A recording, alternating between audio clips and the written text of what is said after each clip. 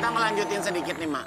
Kalau Emak sendiri sama Olga tuh aku sempat dengar dari sahabat-sahabat Olga juga. Emak tuh punya ikatan kayak emak di mana, Olga di mana, tapi kayak ikatan tuh suka kayak nyatu ketemu gitu gimana, Iya Mak? benar. Niatnya make up Ini banyak beberapa contoh waktu Olga dirawat di rumah sakit ya. Ya. Itu Bang Billy jadi saksinya kok. Ya. Bang Billy jadi saksi. Jadi waktu pada saat enam bulan kita di sana, itu mau udah nggak kuat karena dihujat terus-terusan kan, emak yang disalahin terus kan pada saat itu. Emak bilang sama Bang Billy, Bang Billy kita pulang yuk ke Indonesia biar Olga di Indonesia aja. Itu waktu enam bulan. Kata Bang Billy, ya udah mak kita bicarain sama keluarga. Waktu itu Bang Billy, kan Bang Billy sempat sempetin selalu bolak-balik Singapura kan. Mak bilang ya udah, ya udah kita pulang siap ya. Enam bulan tuh, enam bulan di sana. Pas nyampe di kamar, Mak bilang, gak kita kayak pulang ya ke sana. Itu Olga nangis demi Allah tanya Billy. Billy sampai bilang, Ma Yoga nggak mau pulang mak. Berarti Olga nggak mau pulang. Dia nangis, nggak dia nggak mau pulang. Ya. Akhirnya Mak bilang, oh ya udah nggak usah kalau gitu ya ga, eh, Billy udah. Waktu kejadian jam 2 pagi. Orang kalau koma itu kan eh, dia mendengar apa yang kita obrolin kan. iya. Kita omongin, maaf di belakangin. Gak. Nah, jadi emak bilang sama Olga agak melek dong, kangen emak ngeliat mata Olga gitu. Emak kan kalau ngomong gitu sama Olga. Dia ya namanya orang koma nggak ya nggak ada reaksi gitu. Cuman emak suka ngeliatin detak jantungnya apanya gitu kan dia kalau happy gitu ya. itu reaksi dia tinggi gitu kan. Eh nggak taunya jam 3 pagi Mak kayak mimpi antara sadar dan enggak itu ada muka Olga depan muka emak. Tapi matanya gitu kayak Melek. ngasih unjuk melek ke emak gitu loh. Astagfirullahaladzim berarti dia denger dong omongan emak gitu. Besokannya emak ngomong lagi sama dia. Gak, emak gak mau ngelihat Olga cuman di mimpi emak mata melek. Emak maunya Olga melek gitu. Jadi kita kayak ngobrol gitu ibu sama anak. Di, Kalau Ruben juga pernah pernah. dimimpin, Ben. Kalau aku kan sebenarnya gini, ini ini benar-benar apa ya? Gue cerita nih karena ada orangnya yang kaitannya langsung gitu ya. Ya. Sebelum eh, Olga meninggal gitu ya, Mak. Aku eh, mimpi sama mimpi tapi eh, mimpi main aja. Main ke tempat-tempat yang biasa kita kunjungin bareng. Main aja kayak biasa. Pokoknya sampai selesai main, pulang, saya mau ikut lagi sama dia. Sama dia nggak boleh. Tunggu, tunggu. Enggak, gue ikut. Gitu. Enggak, enggak lu sini aja. Gue balik dulu ya gitu. Jadi dia pergi udah. Terus kayak gitu saya liatin jauh aja. Udah masuk loh, masuk loh. Gitu kan dia sambil ngoceh orangnya. Iya. Jadi ya udah. Jadi Dari mimpi itu terus dari mimpi berapa itu lama? besoknya. Besoknya Pamit. rame tapi saya masih nggak berani. Ini tumben banget nih handphone rame ada apa ya. Jadi nggak berani. Sama sekali nggak berani. Untung lu gak ikut ya, Mak. Duh, Gila. Untung lu gak ikut, gue gak ketemu lu lagi dong kalau... Aduh, Jangan gua- dong, masa ngikut? Bener. Ya kan, Gua- kan ada yang kayak gitu kan suka begitu. Kalau Suka ngajak, ya ngajak, apa gitu kan Iya. kayak pamitan. Jadi Iya. pada saat itu karena gue disuruh sama dia, sono loh gitu. Jadinya ya saya Balik. eh, balik gitu. Balik karena gimana sih mak? Mimpi itu sadar karena Iya. udah lama banget nggak ketemu kangen, Kangen gitu. banget, Jadi ya. Ketika sama dia disuruh pulang ya, ya saya nggak apa ya, Hmm. Ya nggak nggak mau gitu sebenarnya. Tapi Ini brownies episode langka loh. Mavera tuh udah nggak pernah ngomong, nggak bisa ngomong, sampai depresi, sampai ke mana-mana. Hari ini Mavera berani datang ke TV cerita. Ruben juga ngeluapin semuanya. Bahkan mereka pelukan aja nih selama Olga hidup. Mereka nggak pernah ketemu. Ya mak. Mau pernah ketemu sama dia. Dadah mak, dadah dia cuma dadah, dadah mak. Mak ngomong sama Olga gak, mak habis ketemu Uben. Dia kan di TV sebelah, di sini TV sebelah. Mak pegang artis banyak, ketemu dia. Dia tetap manggil mak. Padahal dia lagi live. Jadi kita tuh kalau ketemu cuman pada saat waktu acara-acara TV gitu. Jadi kayak ngumpet-ngumpet. Bukan, ini kalau kalau dia kan punya kesibukan di TV 1. Olga di sini terus kan waktu itu. Boleh tanya sama dia.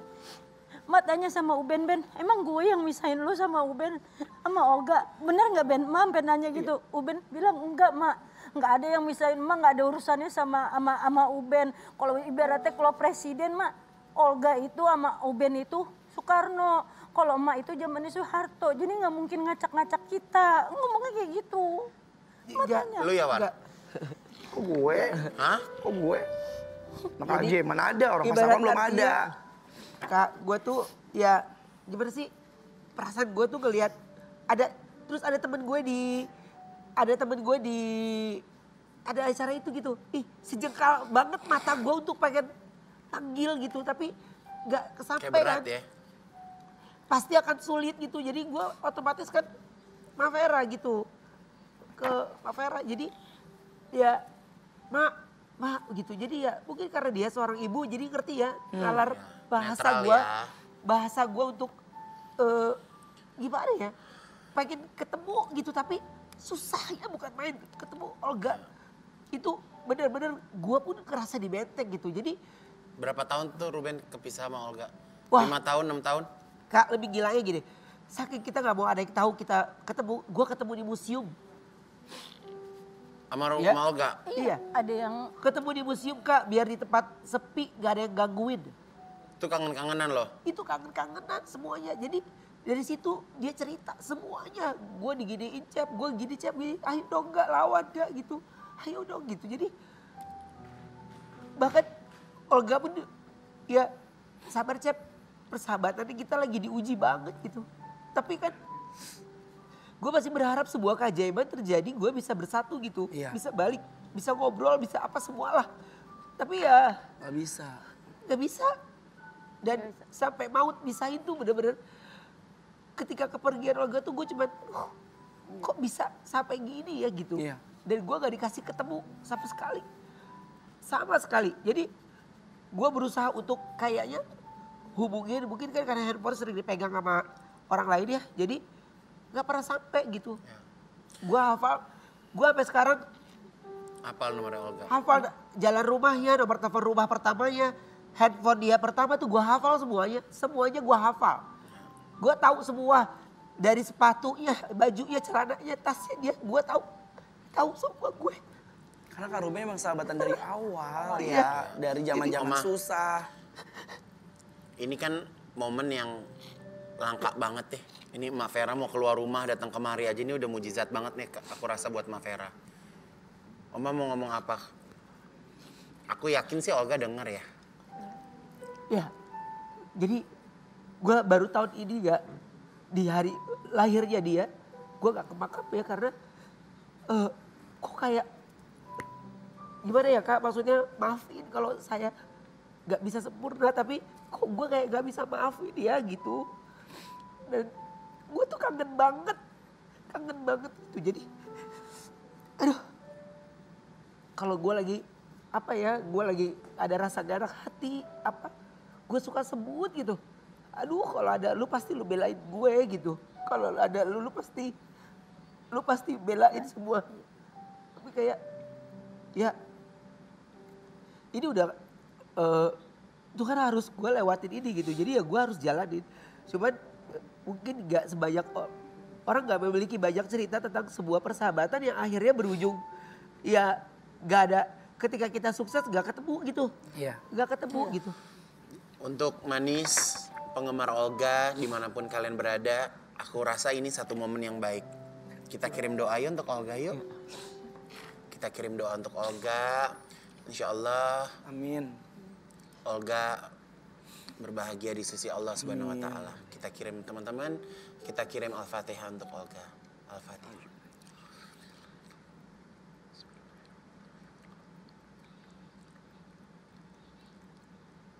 Amin, amin, amin. Ya Rabbal Alamin.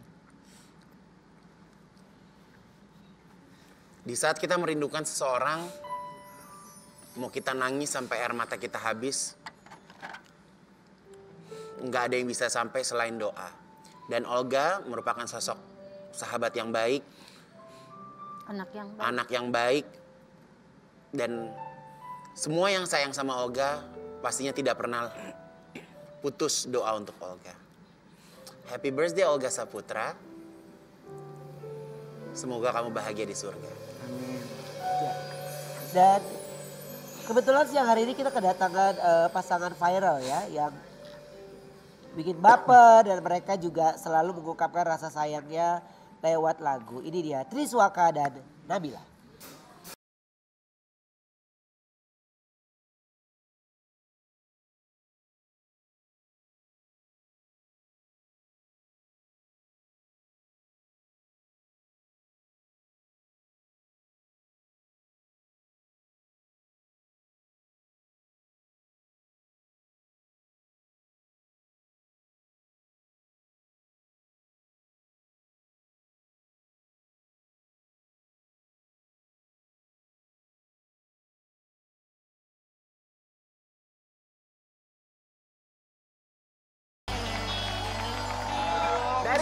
Nangis-nangis, sekarang kita happy-happy ya.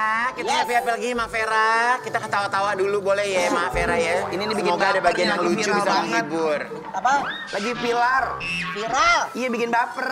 Iya. Eh, sebelum ke bintang tamu selanjutnya sama Vera, ini kan ada sosok Anwar nih, yang dia kan katanya dia kan penerusnya Olga gitu, dia pengen banget kayak Olga. Eh, nggak ada, jangan ngomong begitu. Mak ngelihat ngelihat Anwar gimana, Eh, Mak? lu jangan ngomong kayak gitu, Emang iya. dihujat lu. Lu pernah ngomong kan Iya, ada, Olga.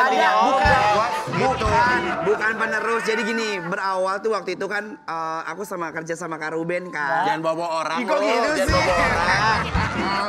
Enggak, ini mumpung ada Ma Vera. Ma gimana ngelihat ngelihat dulu Anwar? bentar, aku kasih tahu dulu. Jadi itu berawal netizen tuh yang selalu eh, nyama-nyamain gitu. Bukan Anwar yang penerus. Apa yang jangan manas-manasin lu? Kayak gitu, gitu mah soalnya netizen banyak banget. juga ada yang pernah mau unek-unek lu juga Soalnya, sebenarnya. soalnya dulu emang iya, jangan jadi masalah lu. Soalnya pernah ma, ini Anwar lagi off air kan, lagi off air di Surabaya waktu itu. Terus eh, memang aku ngefans banget sama Kak Olga kan. Waktu itu kalau udah nggak ada, terus aku lagi nge-MC gitu. Yuk kita lihat video. Kelamaan. dulu, Ih. Yuk kita lihat video. Udah, udah, udah. Anwar ceritanya lama.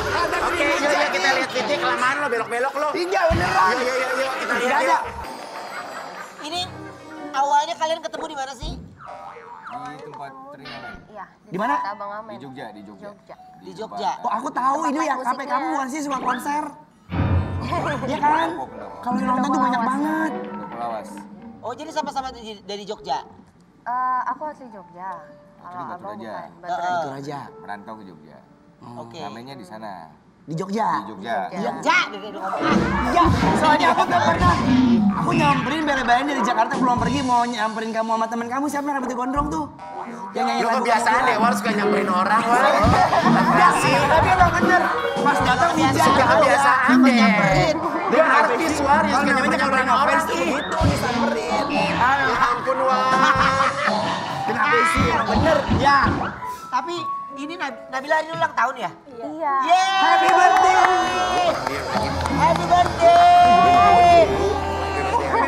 Ya ampun ini pas hari ulang tahun pas dia lagi datang ke sini jadi awalnya ketemu di situ. Oh. Oke dan akhirnya netizen tuh nyocok-nyocokin, cocok, cocok gitu ya. Kalau kalian berdua ada fanbase-nya nggak sih? Ada fanbase-nya. Apa? Namanya Trisna Trisna Lovers. Trisna Lover. Apa itu singkatan? Iya, Triswaka Nabila. Oh, kayak Anwar Belwar. Ya. oh my god. Sumpah itu dia udah official. Kalian kalian ada kasih hadiah Valentine nggak berdua? Hadiah Valentine. nggak ada Kalau lo ke Bella ada ngasih hadiah Valentine nggak? Ada, Ada. Aku tuh ngasih berturut-turut. Semalam aku udah ngasih karangan bunga.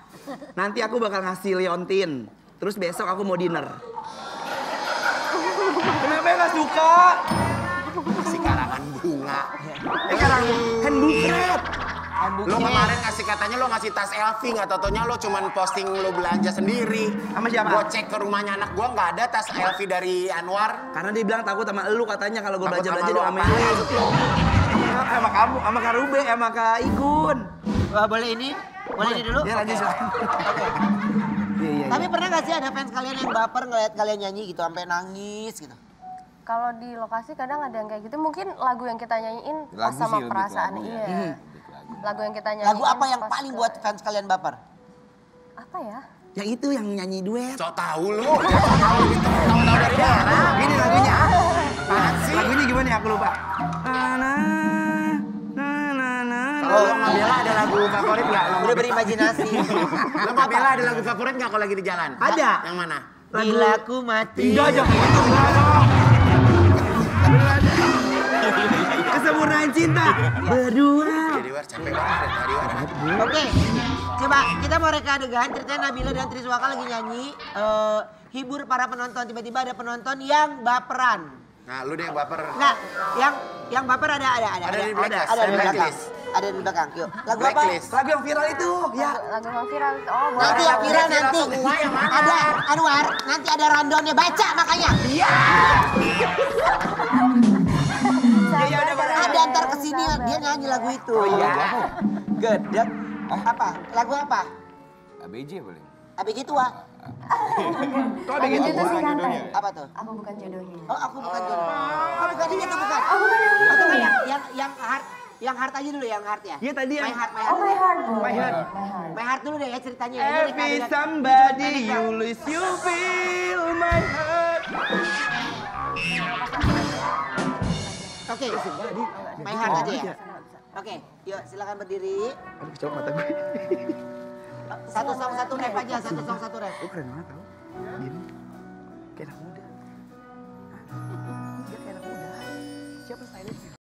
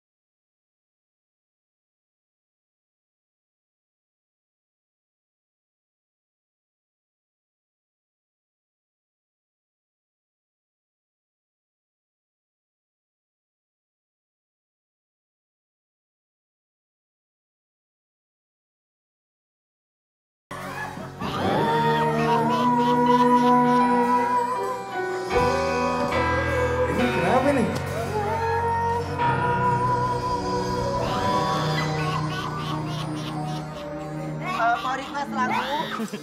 Kayak malampir. Aku bukan jodohnya sekarang. Iya, iya. Ini siapa? Aku ditinggal Priscil. Aku mau kawin. Tiba-tiba pacar aku lebih milih pacarnya. Bentar. Ya. Kok nggak jadi potong deh, Mas? Takutnya gitu ya. Iya. Aku bukan jodohnya. Karena tiba-tiba pengantinnya pergi. Oke. Iya, ya. Oke. Cocok nih lagu ini. Iya. Lagu cocok buat dia. Aku bukan jodohmu.